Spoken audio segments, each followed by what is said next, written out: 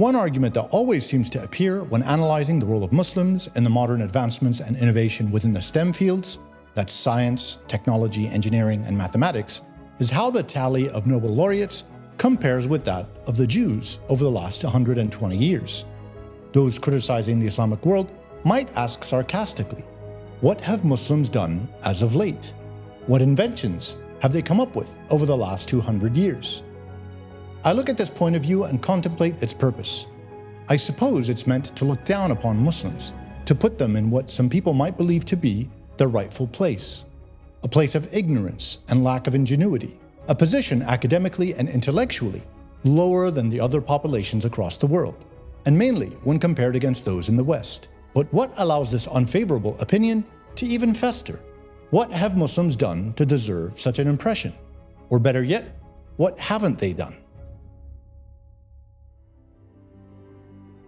Well, unfortunately, there is truth to the fact that Muslims do indeed lag far behind the West, as well as other parts of the world, when it comes to STEM innovation and advancement.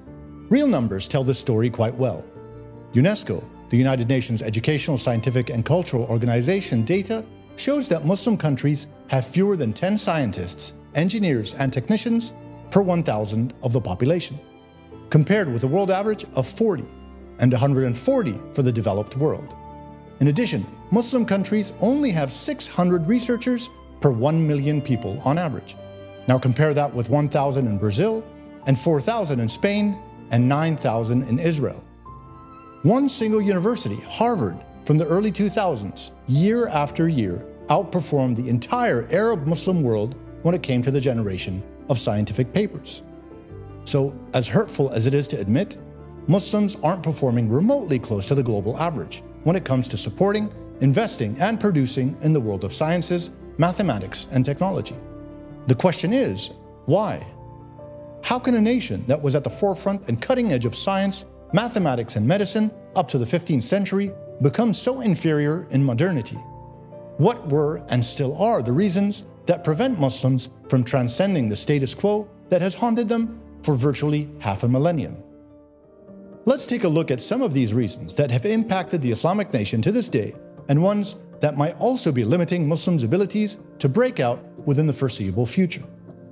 Since the golden age of Islam's end, prioritization of religious studies at the expense of the sciences has been a real factor in impacting the Muslim world's propensity to excel at innovation.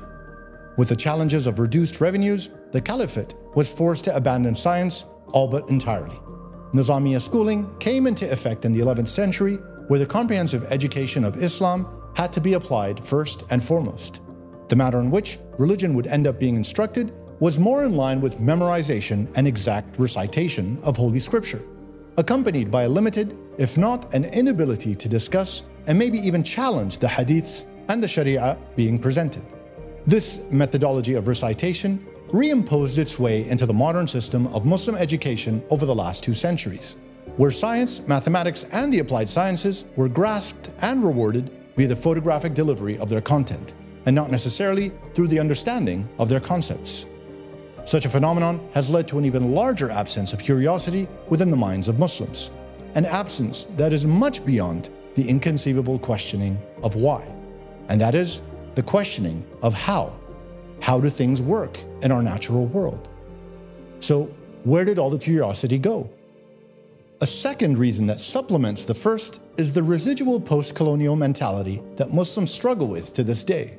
Since the days of Napoleon Bonaparte's campaign in Africa in the late 18th century, the Muslim world has been in an irreparable state of shock due to this discovery of how vast a chasm existed between the science and technology of the West and that of the Muslim world. As indigenous people suffering under the suppression of the colonial powers, the Islamic nation went into rejection mode when exposed to the sciences of the West. Fast forward to the 20th century, and the narrative flips to when only the advice and expertise of the West is heard, taking predominance over any local expert opinion or experience. Muslims leave it to the Europeans, Americans, and more recently the East Asians to invent, create, discover, and produce, only for Muslim nations to consume without question. The third reason for the Muslim nation's crippled ability to innovate is due to the typology of nation they emanate from. In general, there are two types of Muslim nations, with some minor exceptions. ones that wrestle with repressive regimes, and others that prosper while in a state of lethargy. Repressed nations typically struggle with authoritarian or theocratic regimes that downplay the importance of education and research. The intent is to maintain as low a standard of education as possible, thereby keeping the population codependent. And if somehow success was achieved within the STEM domains, immediate emigration would ensue. For the nations that were and are prosperous, and especially ones who gained drastic wealth over the last 60 to 80 years, the problems were different. The challenge was in the absence of enthusiasm and commitment towards the seeking of knowledge. The passion necessary for all the learning and hard work that is associated with the STEM educational curriculums was at a minimum. In addition, the fears associated with the demanding work lifestyle of such professionals brought about havoc with any aspirations for entry into this domain. In either case of Muslim nations, not many were incentivized to research, innovate, or produce. No real reason has impacted the lack of attention to the sciences as the lack of funding, money. And there are two aspects to that we must both recognize. First being that there is no real money being spent on the advancement of sciences anywhere around the Muslim world. Muslim countries spend less than 1% of their GDP on research and development, and consequently, their contribution to the world's scientific literature is also well below 1%. And the data backs this up. There are also rarely any jobs for those who excel within the STEM fields, and if they do indeed exist, then they are either low paying or low prestige. In either case, not a great option for a career.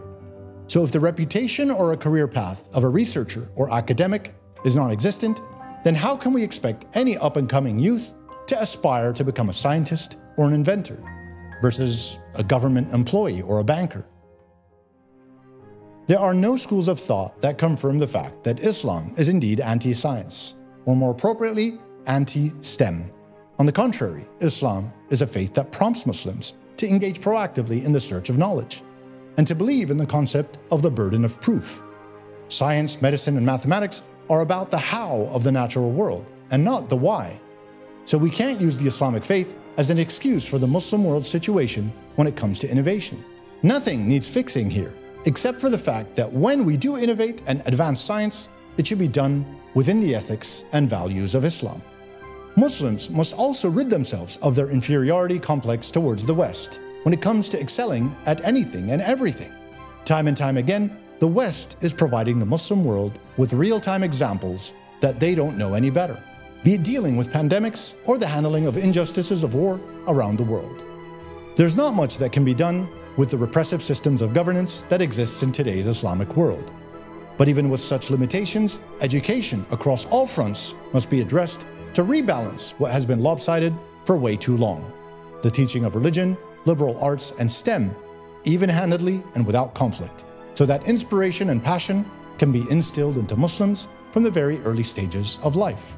And if the Muslim world allows itself to break free from all these self-imposed limits, it will find that there exists a substantial part of the population that craves discovery, hungry for knowledge and the exploration of our natural world and universe only awaiting the opportunity to prove to the world that by gaining knowledge, enhancing it, and finally sharing it, it will be proven that medicine, mathematics, and all the applied sciences have always been an integral part of the Muslim identity.